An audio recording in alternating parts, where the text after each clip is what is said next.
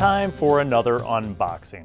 So I was looking around on Amazon for the holidays and I found these uh, different sets. They're actually for Pathfinder battles, but I think it's the kind of thing where I could use them for pretty much any game. I mean, obviously fantasy based, but Pathfinder, D&D, whatever. So I ordered a couple and um, if you're not familiar, these are booster decks, so you don't actually know what's gonna come in each of the boxes. So it's gonna be kind of a surprise. We'll find out what I got from my Pathfinder Battles Dungeons Deep and Pathfinder Battles Rusty Dragon Inn orders.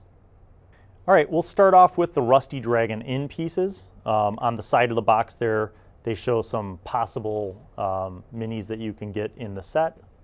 And there's the other side. So who knows what I'll get. I'm kind of hoping for the, the inn employees, more of those and less of the monsters, you know, some, some variety. So we'll see. Okay, wow. So there's a whole bunch of stuff packed into one thing here. And it looks like the biggest one here is the Gorgon.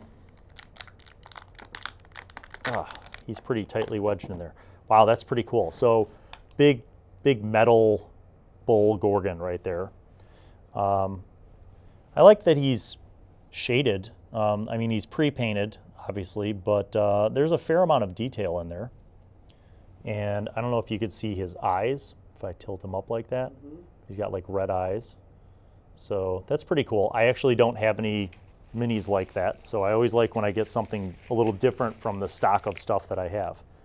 Okay, next up, looks like we have a very small little guy right there. I don't know if that's a halfling or a gnome. Let me see. Um, well, he's small, so let me look on the bottom. They usually label these. Gnome Wizard.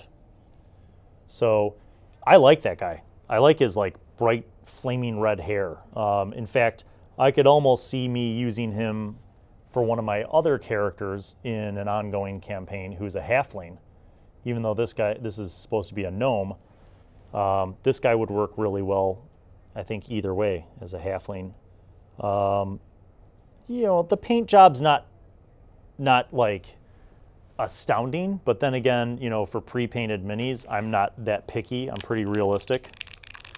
Okay, the next guy looks like a guard, which is cool. I have a whole bunch of guard minis. Can you see that guy? Mm -hmm. um, I have a whole bunch of guard minis from Dwarven Forge, from the City Builder system. But I like variety, so it's cool to have like, you know, maybe this guy could be like a captain of the guard or a, a militia captain or something else, you know, so he stands out from the rest of the guards, but that's pretty cool. Last one is, oh, holy crap, what is this?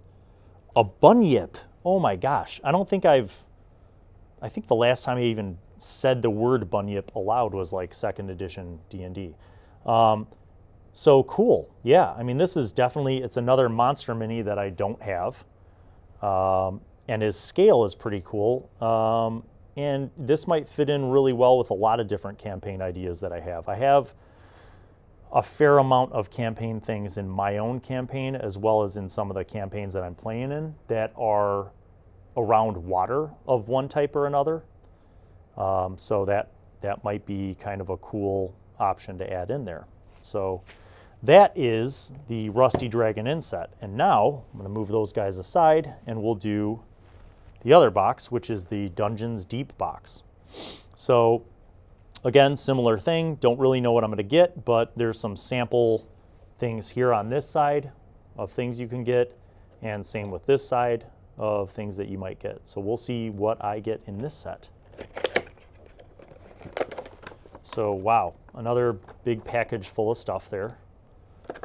Um, the biggest thing that's tied in, I'm gonna, I'm going to untie this. Is this a, this is a really, really big griffin, which is cool because I don't think I have, I don't think I have a griffin.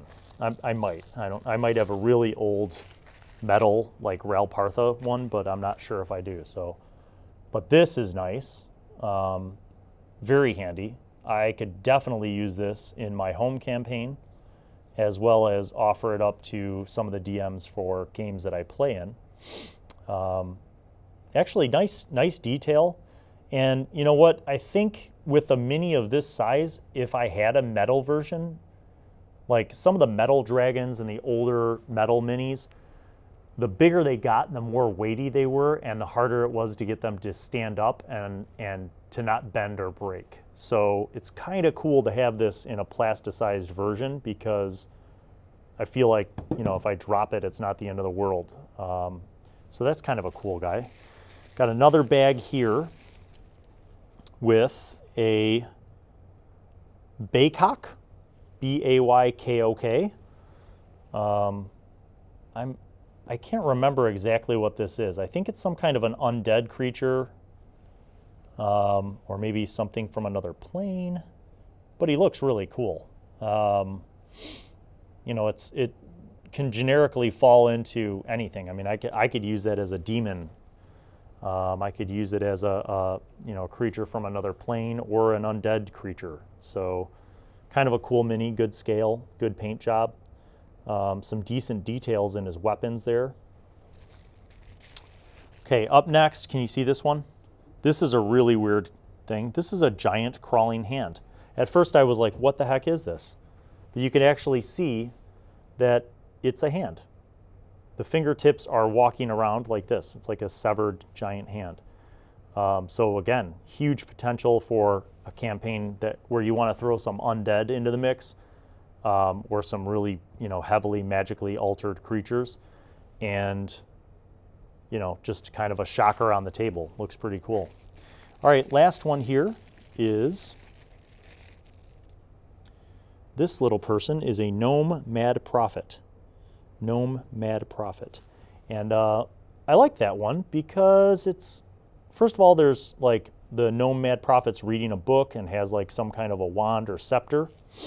Um, very colorful, kind of cool colors in their in the the palette there, um, but also gender neutral. Like I can't really tell if that's a female or a male, and that is kind of nice because I have campaigns where I play with males and females, and sometimes it's nice to have a mini that you know is sort of gender neutral so that you could use it or whoever could use it for their characters. So another good set. Um, I'm pleased.